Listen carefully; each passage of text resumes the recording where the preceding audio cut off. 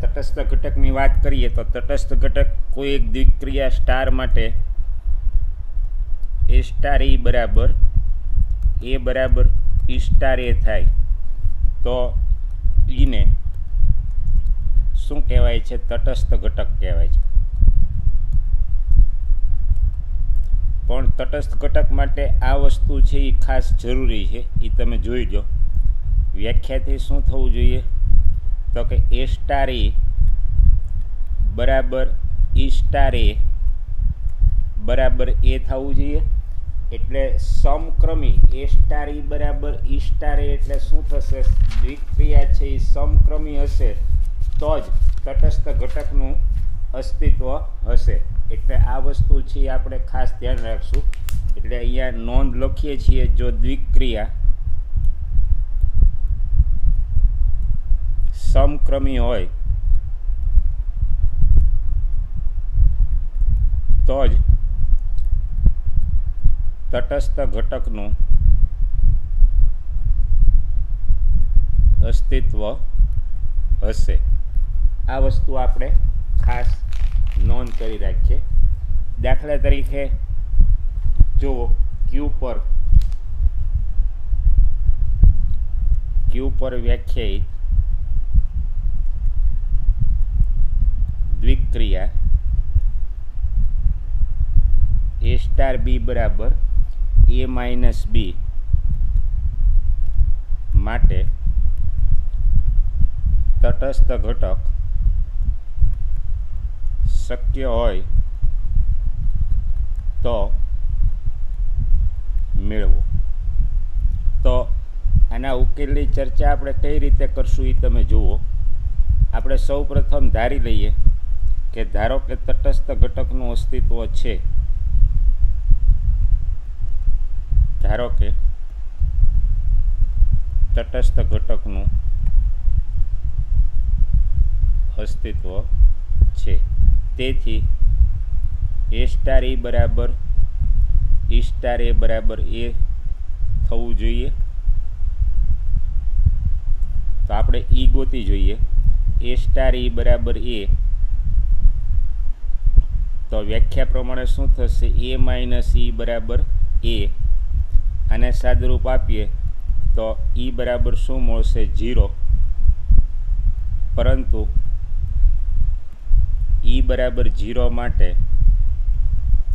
હવે ઈ સ્ટાર એ જો મેળવો છે એમાંથી, એ સ્ટાર ઇક્વલ ટુ એમાંથી પણ ઈ માટે e star plus e star a equal to a થવું જોઈએ. આપણે ચકાસણી કરીએ. E star a zero star a વ્યાખ્યા મુજબ zero minus a equal to minus a not equal to a અને તેથી, તટસ્થ ઘટક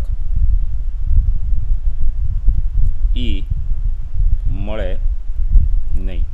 તમે જોઈ શકો છો કે ઈ જીરો લઈએ તો આમાંથી જે ઈ બરાબર જીરો મેળવો પણ એ જીરો માટે ઈ સ્ટાર એ બરાબર એ થવું જોઈએ એ થતું નથી. કોની માટે? ઈ બરાબર જીરો માટે. અને તેથી તટસ્થ ઘટક મળતો નથી.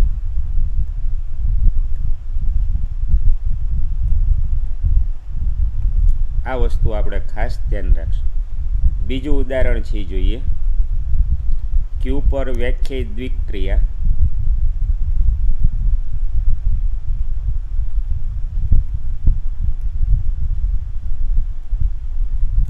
A star b equal to a b by four માટે તટસ્થ ઘટકનું અસ્તિત્વ હોય તો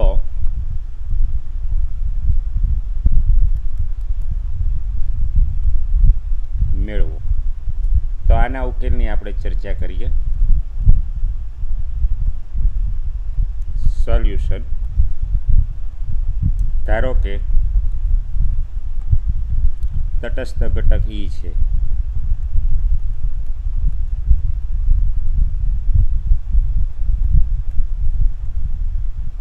તેથી વ્યાખ્યા પ્રમાણે શું થવું જોઈએ? એ સ્ટાર ઈ બરાબર એ બરાબર ઈ સ્ટાર એ આનો ઉપયોગ કરી અને ઈ ગોતીએ અને ઈની ઈ કિંમત માટે આનું સમાધાન થતું હશે તો આપણને તટસ્થ ઘટક મળશે.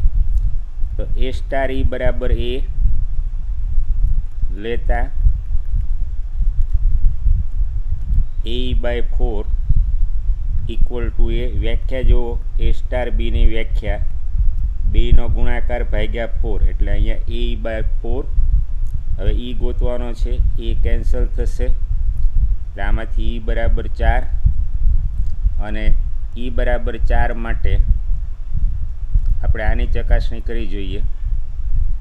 E star a four star a વ્યાખ્યા મુજબ four a upon four equal to a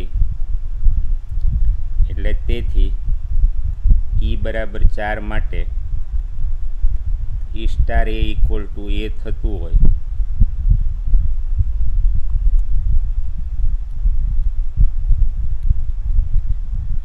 તટસ્થ ઘટક ઈ તરીકે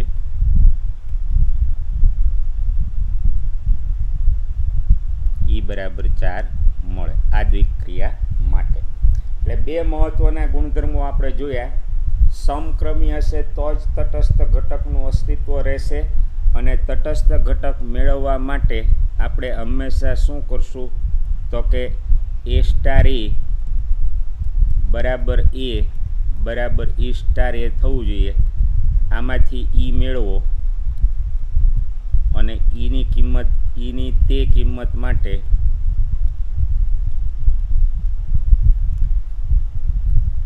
ઈની તે કિંમત માટે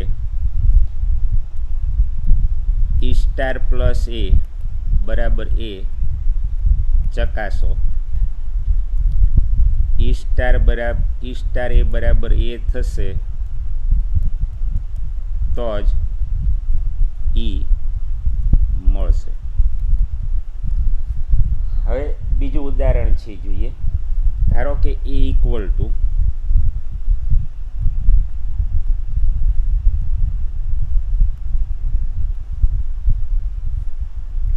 a equal to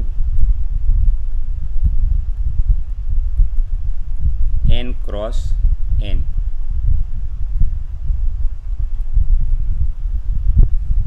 અને એ પર દ્વિક્રિયા સ્ટાર અને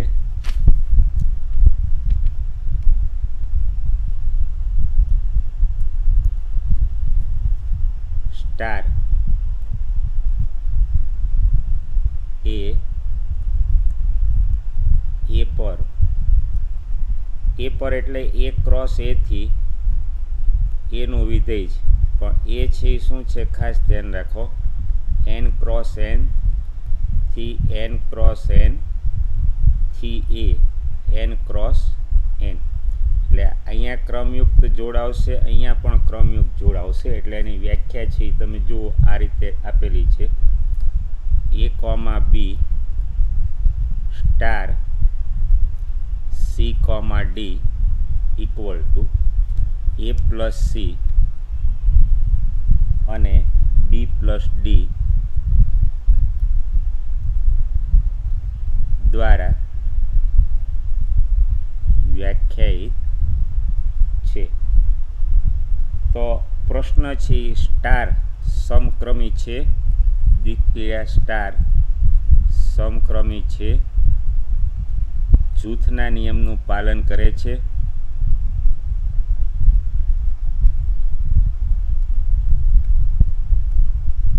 અને તટસ્થ ઘટક શક્ય હોય તો મેળવો. ત્રણ પ્રશ્નો છે આપણે જોઈએ. તો આના ઉકેલની ચર્ચા કરીએ. તો પહેલાં સમક્રમી છે કે નહીં, એની આપણે ચકાસણી કરીએ. તો ગણ એ પર સ્ટાર, એની વ્યાખ્યા છે કઈ રીતે વ્યાખ્યાયિત છે જુઓ. Star, a comma b, star, c comma d equal to a plus c. Comma b plus d. આ વ્યાખ્યા છે. અહીં કારણ આપીએ. વ્યાખ્યા. હવે એ પ્લસ સી છે એને આપણે આ રીતે લખીએ કે સરવાળો છે એ સમક્રમી છે. સી પ્લસ એ અને d plus b. A plus c equal to c plus a. એનમાં સરવાળો છે એ સમક્રમી છે. અને b plus d equal to d plus b તો વ્યાખ્યા પ્રમાણે આ શું થઈ ગયું? C comma d star a comma b અને તેથી સ્ટાર સમક્રમી છે. જૂથના નિયમની ચકાસણી કરીએ.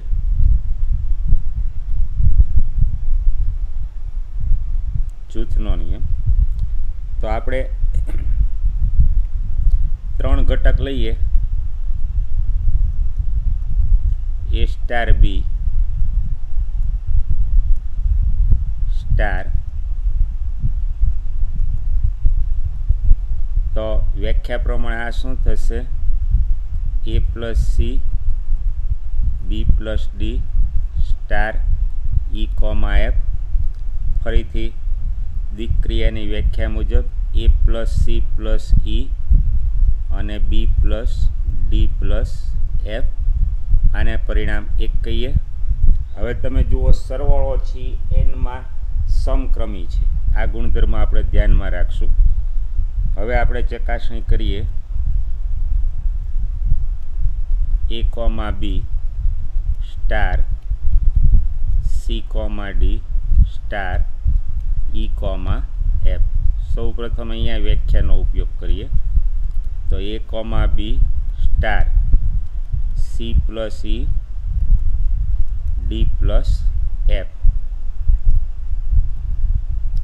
હવે વ્યાખ્યા પ્રમાણે શું થશે? A plus c plus e b plus d plus f આને પરિણામ બે કહીએ. તો a plus c plus e equal to a plus c plus e અને b plus d plus f equal to b plus d plus તેથી પરિણામ એક અને બે પરથી.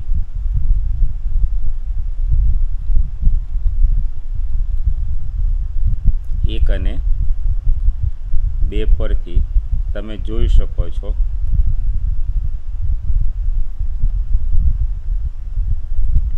A star b sorry a comma b star c comma d star e comma f equal to a comma b star c comma d star e comma f અને તેથી દ્વિક્રિયા star એ જૂથના નિયમનું પાલન કરે છે. આ ક્યાં છે? એ પરની. એ છે, એ શું છે? એન ક્રોસ એન હવે આપણે ધારી લઈએ. ધારો કે એમાં તટસ્થ ઘટક એમ કોમા એન મળે છે. તો શું બનવું જોઈએ? A comma b star m comma n બરાબર. એ કોમા બી થવું જોઈએ equal to m comma n star a comma b થવું જોઈએ. જો મૂળ વ્યાખ્યા ઈની a star e equal to a equal to e star a આ વ્યાખ્યાનો આપણે ઉપયોગ કર્યો તટસ્થ ઘટક માટે. તો આમાંથી શું મળશે આપણને? તેથી a comma b star equal to a comma b લેતા. તો વ્યાખ્યા પ્રમાણે શું થશે? A plus m b plus n equal to a comma b. તો આમાંથી સરખામણી કરીએ તો એ પ્લસ એમ ક્રમયુક્ત જોડ સમાન તો અનુરૂપ ઘટક સમાન. અને b plus n equal to b. તો આને સાદરૂપ આપીએ તો આમાંથી શું મળશે? M equal to n equal to zero. પરંતુ ઝીરો છે તમે જોઈ શકો છો, નોટ બિલોંગ્સ ટુ એન. અને તેથી એ પર વ્યાખ્યાયિત દ્વિક્રિયા સ્ટાર માટે તટસ્થ ઘટક મળે નહીં. કેમ કે જીરો કોમાં જીરો લેવું પડે. એમ કોમા એન છે એ શું થયું? Zero comma zero. પણ આ છે એન ક્રોસ એનમાં નથી. એટલે તટસ્થ ઘટક મળે નહીં. બીજો એક એક્ઝામ્પલ છે જોઈએ.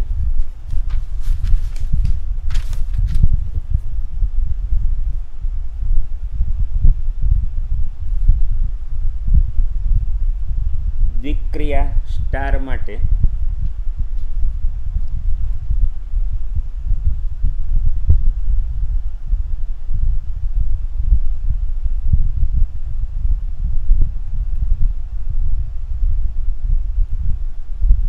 ચોથો એક્ઝામ્પલ છે જુઓ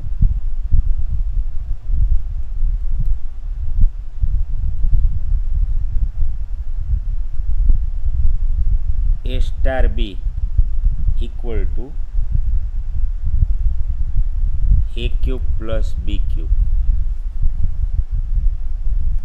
n પરની દ્વિક્રિયા છે. તો સમક્રમી છે.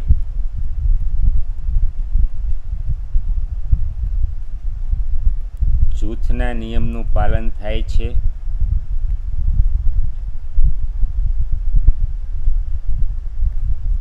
તો આની ચકાસણી કરીએ આપણે. તો a star b equal to a cube plus b cube આને આપણે શું લખી શકીએ? એ ઘન વત્તા બી ઘનને બી ઘન વત્તા એ ઘન. પણ બી ઘન વત્તા એ ઘન વ્યાખ્યા મુજબ છે શું થશે? બી સ્ટાર એ આને આપણે લખવું હોય તો બી સ્ટાર એ તો આમ તમે જોઈ શકો છો.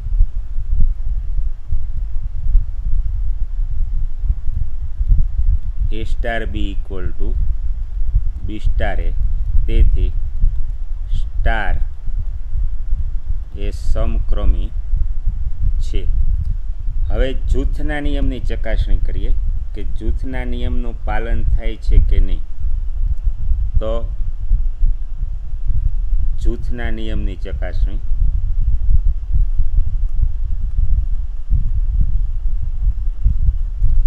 આપણે ત્રણ ઘટક લઈએ. ધારો કે વન ટુ અને થ્રી છે. એ આપણે એનના ત્રણ ઘટક લઈએ. તો પહેલાં આપણે આની ચકાસણી કરીએ. One star of two star three તો એકનો ઘન વત્તા બેનો ઘન વ્યાખ્યા મુજબ સ્ટાર થ્રી બે, આઠ ને એક, નવ. એટલે નાઇન પ્લસ આઠ વત્તા એક નાઇન સ્ટાર થ્રી એટલે નવનો ઘન.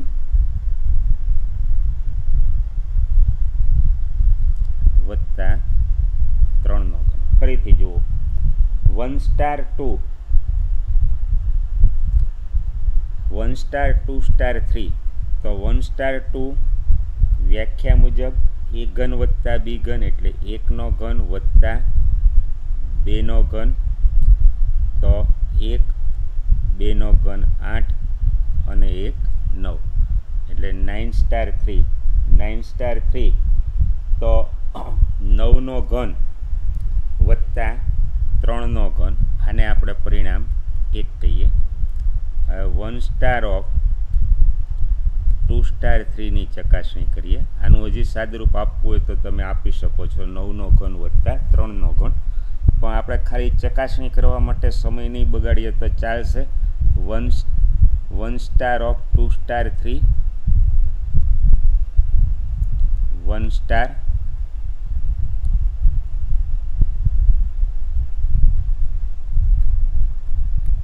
આ બેનો ઘન વત્તા ત્રણનો ઘન ટુ સ્ટાર થ્રીની કિંમત બેનો ઘન વત્તા ત્રણનો ઘન. અને અહીંયા ત્રણ તેરી નવ તેરી સત્યાવીસ. તો આ તમે જોઈ શકો છો વન સ્ટાર સત્યાવીસ ને ત્રણ ત્રીસ એટલે પાંત્રીસ. તો આ એકનો ઘન વત્તા પાંત્રીસનો ઘન વ્યાખ્યા મુજબ. તો હવે પરિણામ એક અને બે પરથી જોઈ શકો છો, આ બેની કિંમત સમાન નથી. તેથી એક અને બે પરથી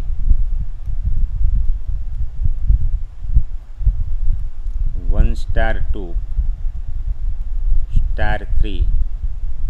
Not equal to one star of two star three. અને તેથી સ્ટાર એ જૂથના નિયમનું પાલન કરતી નથી. વિક્રિયા સ્ટાર એ જૂથના નિયમનું પાલન કરતું નથી. હવે એક્ઝામ્પલ છે જોઈએ આપણે.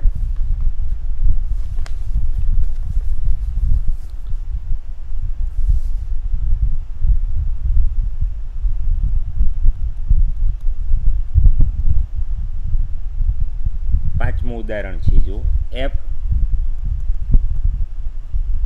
આરથી આર એફ ઓફ એક્સ બરાબર ટેન એક્સ પ્લસ સેવન દ્વારા વ્યાખ્યાયિત છે. જી આરથી આર શોધો કે જેથી G o of F equal to F of G equal to I R થાય.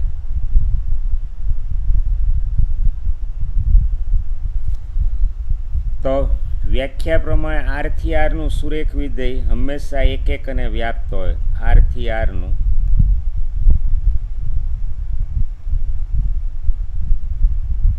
સુરેખ વિધેય એક એક અને વ્યાપ્ત હોય. તેથી એક એકને વ્યાપ્ત હોય તેથી વ્યસ્ત સંપન્ન હોય.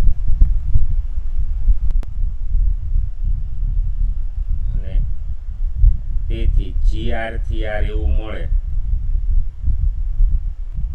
કે જેથી G of F equal to F of G equal to IR તો આ જે છે એ શું છે? વ્યસ્ત વિધેયની વ્યાખ્યા મુજબ જી છે એ શું થાય? વ્યસ્ત વિધેય થાય. એટલે અહીંયા આપણે જી મેળવવા માટે આપણે કયો નિયમ આપેલો છે? ફરીથી એની ચકાસણી કરીએ તો એફ ઓફ એક્સ બરાબર વાય લ્યો. એટલે એફ ઓફ એક્સ એટલે શું થશે? Ten x plus seven equal to y લ્યો. એક્સને સૂત્રનો કરતા બનાવો. એટલે y minus seven upon ten અને આ આના આધારે જી વિધેય વ્યાખ્યાયિત કરો.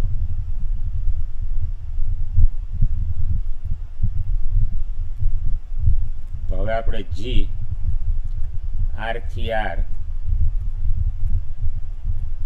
G of x equal to, y minus seven, upon ten લેતા હવે આ બંને આપણે ચકાસણી કરીને બતાવીએ કઈ રીતે શોધવાનું એ મેં તમને સમજાવ્યું આ નિયમને આધારે આપણે મેળવ્યું. તો હવે જુઓ. G of F of x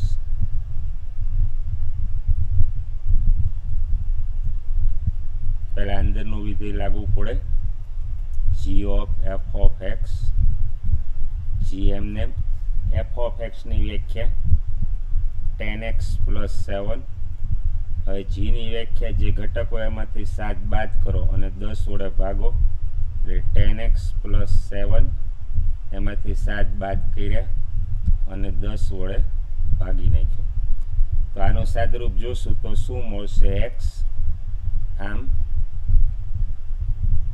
G of F of x equal to x તેથી જી ઓફ એફ છે શું થઈ ગયું? તદે વિધેય આઈ આર આરથી આરનું તદે દઈ ગણ આરના પ્રત્યેક ઘટકને પોતાની સાથે જ સાંકળે છે.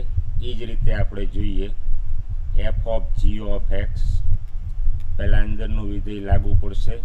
જી ઓફ એક્સ એફ એમને જી ઓફ એક્સ જે આપણે વ્યાખ્યાયિત કર્યો છે એક્સ માઇનસ અહીંયા વાયની જગ્યાએ આપણે એક્સ મૂકી વ્યાખ્યાયિત કરશું. જો વાયમાં વ્યાખ્યાયિત કર્યું તો જી ઓફ વાય લખવું પડે.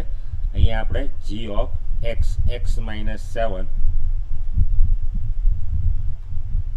upon ten હવે વિધેય એફની વ્યાખ્યા જુઓ. F of x ten x plus seven અહીંયા જે ઘટક હોય એને દસે ગુણો.